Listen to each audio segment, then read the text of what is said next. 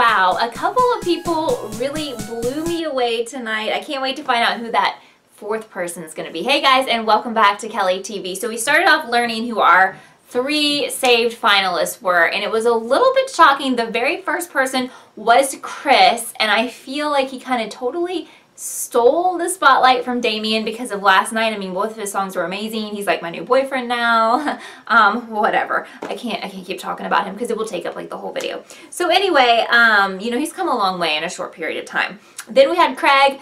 Not going to be surprised by that news at all because he's probably going to win. I still see him as the winner. And then Matt. So I'm feeling kind of bad for Damien, but that second song he did last night was just, I think it killed him and I do feel bad for him, but I think he's out of the competition. Like, I don't think he's coming back. So, sadly, they did not tell us who is in the fourth spot, which I thought would happen, but you have to watch the Today Show. So I'm not going to watch the show. I'll probably just look on social media, but of course I'm dying to know who's going to make it into that fourth spot, and I will tell you in a little bit who I think should make it. So the first wildcard singer was Reagan, and I'm like, are you serious? She's the only person out of all the people trying for that fourth spot who sang a repeat song. Not only was it a repeat song, it was a song that she sucks on. It was that turn your records on or whatever, put your records on. And when I heard it, I was like, seriously? And it was maybe a little bit better than the last time, but it still sucks. And wow, I mean, to me, that's lazy. Maybe there was a really good reason or story behind why she did that same song again. Maybe. If so, I apologize. But otherwise, I think that's lazy. So Jessie, who I had liked earlier in the season, came out with Zombie by the Cranberries. I thought she did a pretty decent job with this song, but she can't really hold a candle to Matt and Craig and Chris. Just She just can't. So I don't see her taking that fourth spot. Um, next was Ryan with Marry Me. I thought it was one of the weaker performances he's had. There were parts that were just super rough pretty much through the whole song. Now near the end he seemed to get more comfortable and like started hitting correct notes. But that was a little bit too late, Ryan. Um, just not that great from you. Alright, and then I thought Anita probably had her best performance with Waiting for the World to Change. Um, I loved the reggae twist on this. I think it really worked on this song. Some of the songs she tried to do it on was like a stretch, but I thought this one really worked. She looked comfortable. She had great stage presence. Adam said it was her best performance of the show. And I can agree with that. So I love the song Wicked Game. Any of you who watch AGT know that Sons of Serendip performed that song and I was flipping out because it was so good. So when I heard that Taylor was going to sing it, I had really high hopes and he didn't let me down. I thought this was one of his best performances. I thought it was the second best performance of the night. I just thought it was really, really, really, really good.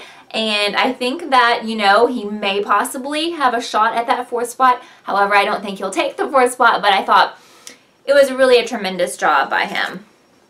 Alright, so Damien chose a song which I really didn't feel like did him justice. He chose a Bruno Mars song. So like after we're following up from Chris's performance last night, which was great with a Bruno Mars song, um, Damien was singing Grenade. I just kept thinking about Chris and I really think he should have picked like a more R&B song because that is like his genre.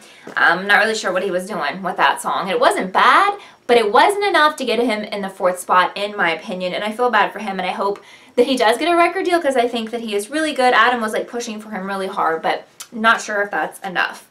I love Amy Winehouse or loved Amy Winehouse. I love Back to Black. Love it. Such a like haunting song.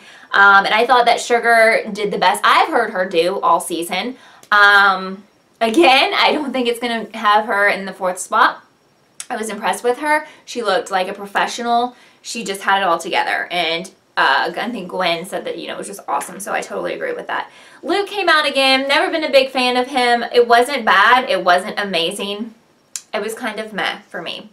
So they definitely saved the best for last with Danica in the very last spot before the show went off. And I cannot live without her being in the top four. And I think that this performance has secured her spot.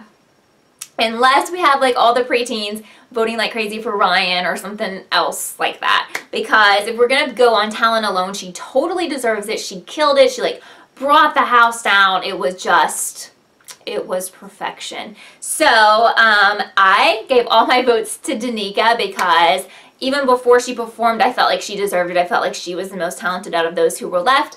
And if she had done like a sucky job, I would have been like, nope, I probably would have voted for Taylor. But she was great. She was perfect. And I think if she doesn't get in the top four, it's like, it's not fair at all to her. But you never know, because sometimes it turns into like a popularity contest. So, who do you want to take that fourth spot? Let me know down below. Um, what did you think? Who was your fave from tonight? Did you think anyone was not very good like I did? Or do you think some people were awesome? Or do you disagree with me? I respond to everyone's comments, so I can't wait to hear from you. And thanks again for watching this episode of Kellie TV, and I will see you next time.